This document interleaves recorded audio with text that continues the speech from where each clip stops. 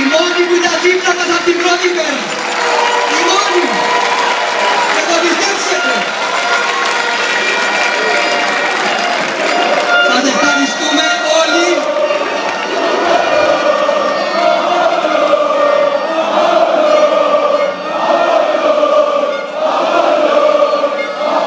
Σας ευχαριστούμε όλοι.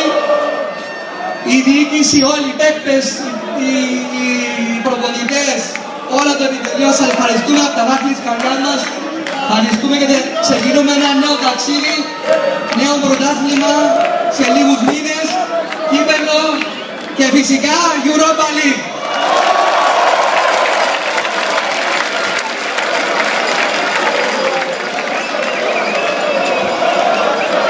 Πριν να κλείσω,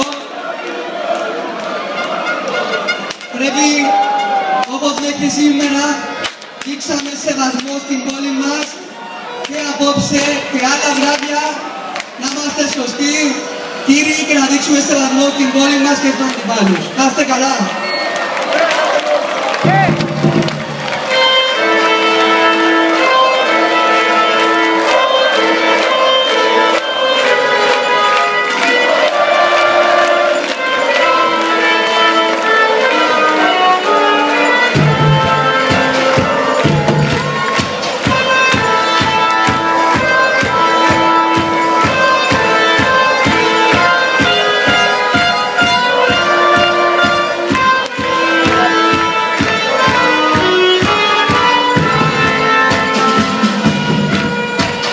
Όλοι διαρκείας, εισιτήρια διαρκείας για να είμαστε και το χρόνο εδώ.